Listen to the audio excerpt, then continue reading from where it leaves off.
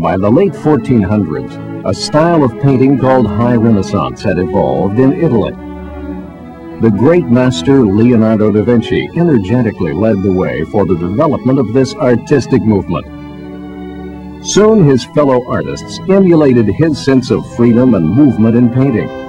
Leonardo's stature and reputation as an artist inspired a legion of emerging painters, the most notable being Michelangelo and Raphael. Individually, the three took the art of painting to new heights as the 16th century opened. Each artist would borrow from the other as their artistic endeavors overlapped. The youngest of the three, Raphael, reaped the most benefit from the excitement